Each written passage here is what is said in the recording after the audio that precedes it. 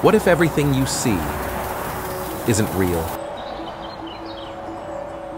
You're watching this video, feeling the warmth of the room, hearing the sounds outside. But what if it's all just code? An illusion. A brilliant simulation created by something or someone beyond your understanding. This isn't a movie plot. It's a serious hypothesis supported by scientists, philosophers, and even tech visionaries like Elon When, Musk. when I was a kid, I was wondering kind of what's the meaning of life?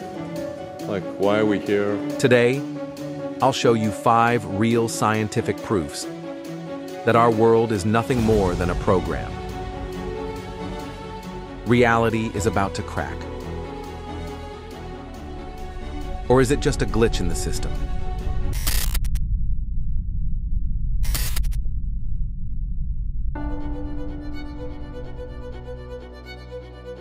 Have you ever experienced deja vu? Or did you find something in your hands that you don't remember picking up? Have you ever felt time suddenly slow down, like just before an accident, before a major event, or when you lock eyes with someone? Physicist James Gates discovered something shocking in the fundamental equations of physics. The ones that describe the structure of space, time, and the universe itself. Deep inside, he found a hidden code, a binary code, just like in computer programs. If our universe runs on code, then who wrote it? Maybe reality is running on some kind of software. And when that software glitches, we notice strange things happening. What if deja vu isn't just a trick of the mind, but a system reboot? A moment when reality resets a fragment of time, and for a brief second, we realize we've seen it before, like a memory loading into the wrong place.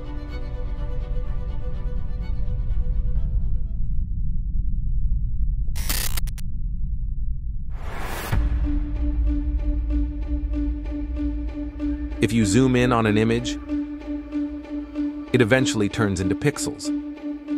Now, scientists have discovered that matter itself also has the smallest, indivisible unit the Planck length.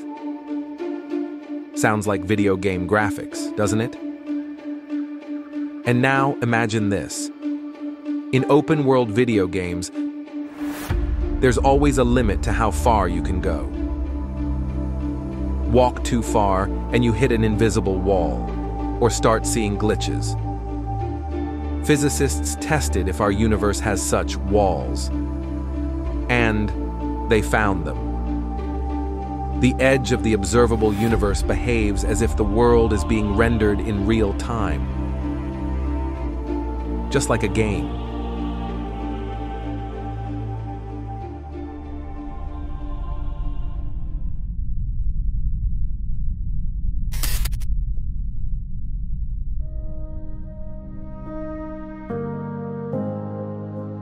In the quantum world, something bizarre happens.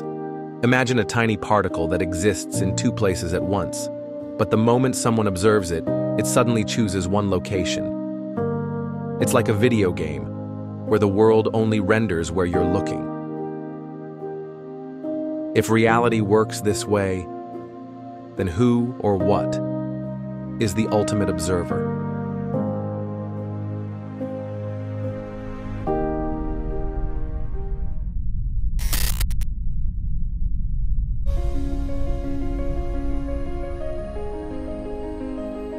We already have VR games where you can fully immerse yourself in a virtual world.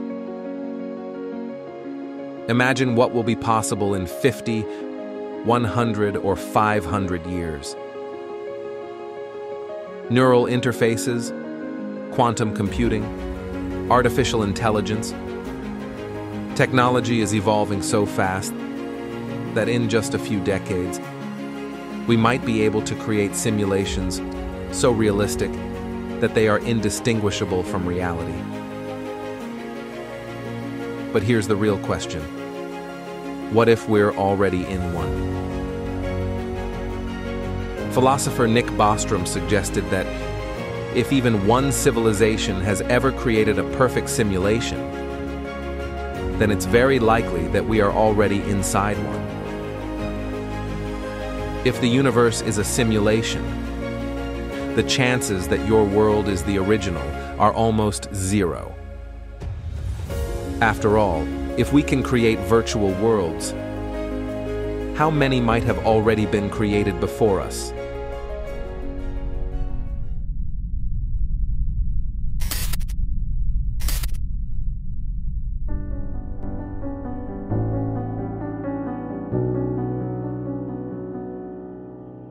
Now, the main question.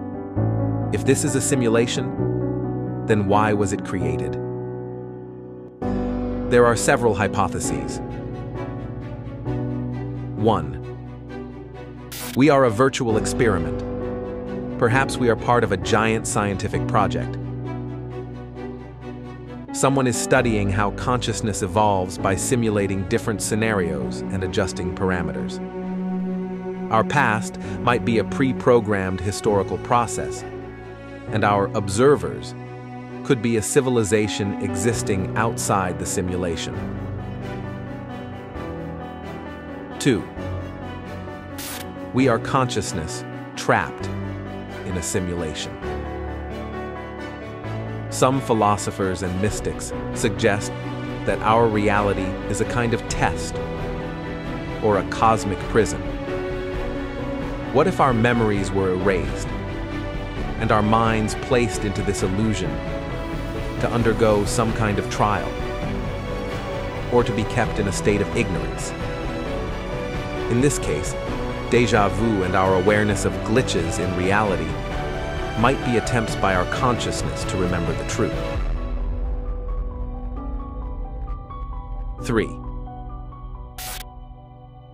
We are just entertainment like The Sims or an endless movie for a higher civilization. Perhaps someone is watching our world the way we observe characters in a game or reality show.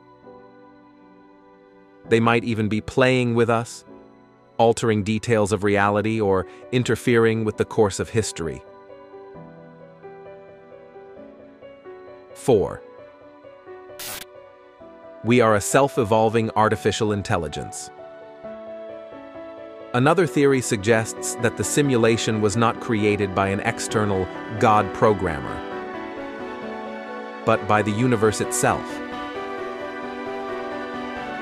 Perhaps reality is a computational system, and we are its elements, designed to find meaning, evolve, and generate new levels of reality.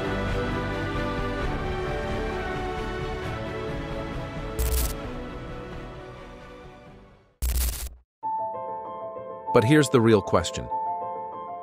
If we are in a simulation, can we escape it? If reality is a code, then it makes sense that there could be loopholes, errors, or ways to hack it. Some theorists suggest that simply realizing the simulation exists is already a step toward breaking free. Maybe our task is to learn to see the boundaries of this reality and rewrite its rules. Or even find those who control the simulation. Others believe that if an escape exists, it may be within us. In altered states of consciousness, deep meditation, or experiences that erase the line between illusion and reality. But here's what's truly unsettling. What happens if we find the exit? Will we be granted access to the next level? Or will the system simply shut down and reboot? Of course, there is no absolute proof that we live in a simulation. But every year, scientists discover more and more strange anomalies in the structure of our reality. Now, The question for you. Do you believe in the simulation hypothesis? Or do you think it's just an intriguing theory? If reality is a code, the real question is not whether we can escape, but who holds the key.